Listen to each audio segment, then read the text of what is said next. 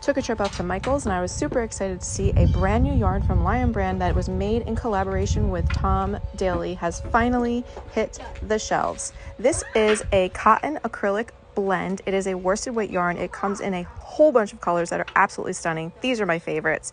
Make sure you head on over to Michael's and check out the free patterns that they have for you to make with this new yarn.